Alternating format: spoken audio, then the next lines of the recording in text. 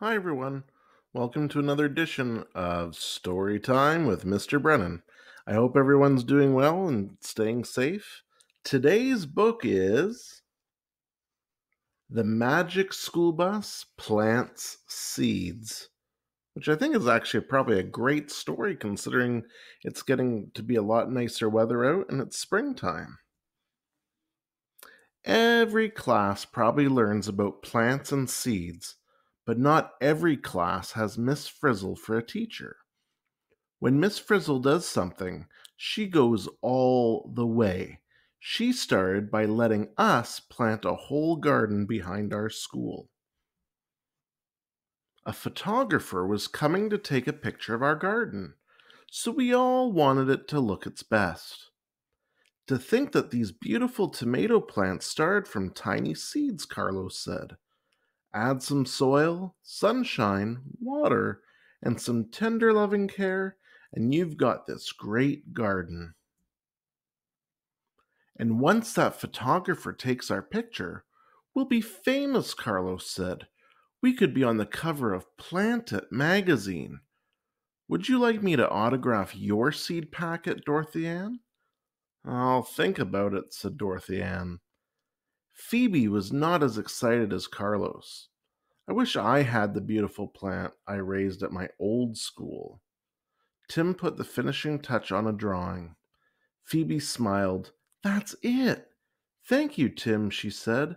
Still, I wish I had the real thing for our picture this afternoon. Miss Frizzle spotted the drawing. Your plant looks lovely, Phoebe, she said.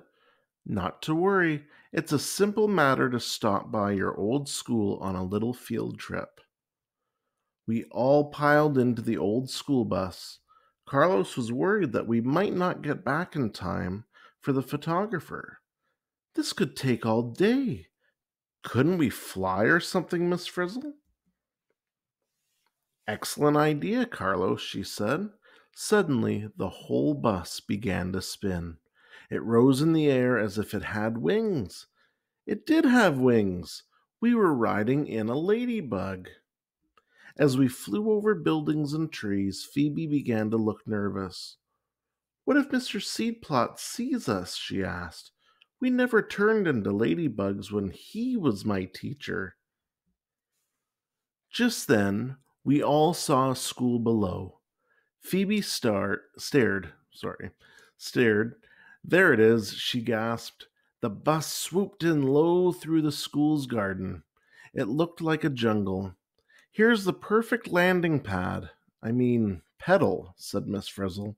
The bus landed with a bounce and crawled along the petal of a huge flower. We crawled one step too far. Suddenly, our ladybug slid into something wet and slippery. We're stuck in some goop, Ralphie yelled. It's called nectar, Dorothy Ann said. Follow me, class, said the Frizz. She opened the doors and slipped out into the lake of nectar. We didn't know it then, but Mr. Seedplot could have reached out and picked us. Phoebe's plants certainly have grown well, he said to himself. She worked hard on them. I really should take one to her new school for her. Mr. Seedplot heard a buzz and looked up. Ah, bees! I won't disturb their work right now, he said, turning to a patch of tomato plants. We also saw the bees coming, and they were headed right into our flower. Yikes! Air raid! shouted Arnold. Glory be, said the Frizz happily. As soon as these bees drink enough nectar, then we can crawl out of here. All aboard the lady bus, please. Next stop, Anther. Dorothy Ann is amazing. Even upside down, she could remember what she had read that morning.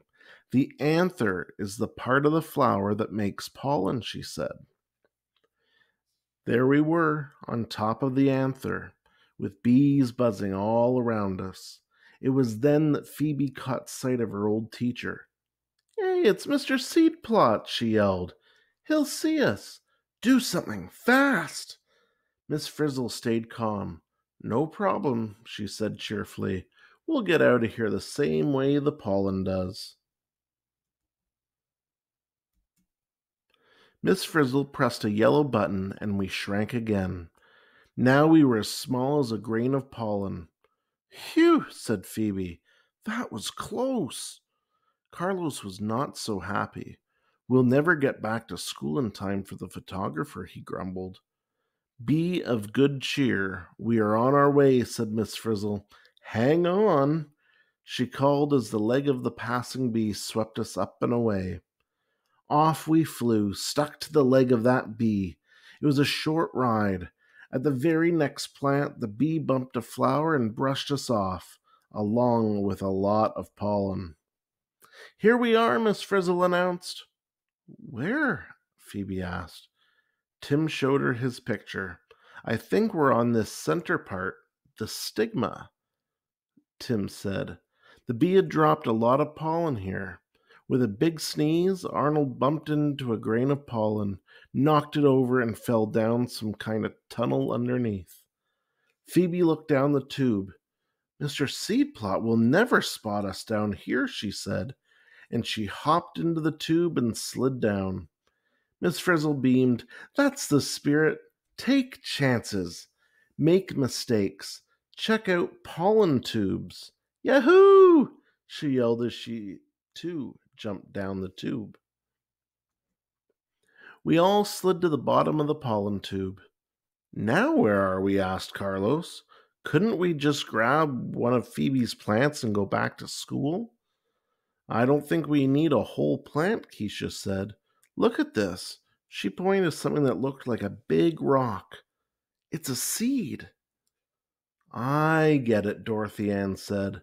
When pollen from one flower lands on the stigma of another, it grows a pollen tube, finds one of these egg cells, and together they make a seed. Carlos still wasn't happy. No seed can grow into a plant by three o'clock, he said. Not without some help, said Miss Frizzle. She reached into the bus and pressed a button, and suddenly things went wild. The seeds were growing bigger and sprouting hair. We need to hurry things along a bit, said Miss Frizzle. Everyone on the bus, please. We all rushed back to the bus. The doors slammed shut, and we drove up and onto one of the biggest seeds. As the seeds around us grew bigger, the flower burst open. We felt the sun shine in, and a breeze blowing through the windows of the bus. Suddenly, our seed flew into the air with us on board. Anyway, we flew on the back of our seed, carried along with gusts of wind. Carlos still worried. Can't we go any faster? he asked. Well, Miss Frizzle said, this is pretty fast for a seed, but there are seeds that travel by attaching themselves to dogs or birds. Or people, she said, eyeing a man on a bicycle. No, croaked Phoebe. That's Mr. Seedplot. But she was too late. Our seed had landed on Mr. Seedplot's, Seedplot's hair. Oh, how embarrassing, Phoebe groaned. We were almost home, still stuck in Mr. Seedplot's hair, and we hadn't even been introduced. So we all showed, Hello, Mr. Seedplot, except for Phoebe who was too embarrassed to talk to. But when Mr. Seedplot swung his head to see who was calling him, we flew off. Last stop, Miss Frizzle announced. She pushed a button. Poof! The bus got big again. She pushed another button. Poof! The seed, which had landed in our garden, grew into a tall plant with beautiful flowers. Ah, there you are, Mr. Seedplot, said when he spotted us, I brought one of Phoebe's plants, but I see that she already has one. Nice to see you again, Miss Frizzle. Phoebe gasped. You mean you've met Miss Frizzle before? she said. Mr. Seedplot smiled. Yes, she's a very special person. And it looks like over here they're on the cover of Planet magazine. and inside is a letter to the editor of Planet Magazine. Dear editor, I liked the pictures of the garden planted by Miss Frizzle's class, but there are a few things I'd like to point out to you about your article.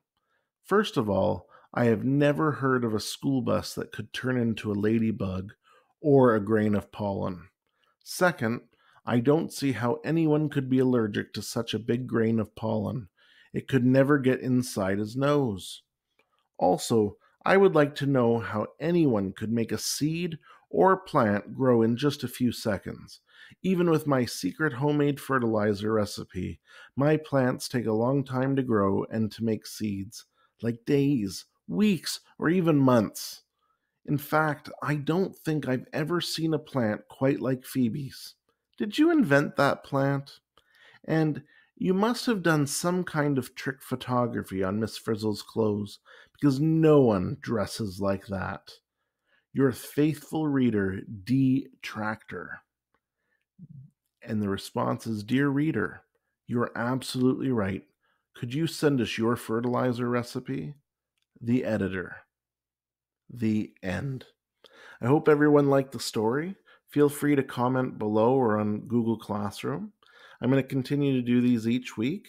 And when I do, I'll let you know through Google Classroom when it's been posted. And remember, if you're feeling down, needing someone to talk to, make sure that you talk to someone, talk to a friend, talk to a family member, talk to a, a teacher, myself, or you can also call Kids Help Phone at 1 800 668 6868. Again, that's Kids Help Phone at 1 800 668 6868. Take care, everyone. Stay home and stay safe. All the best.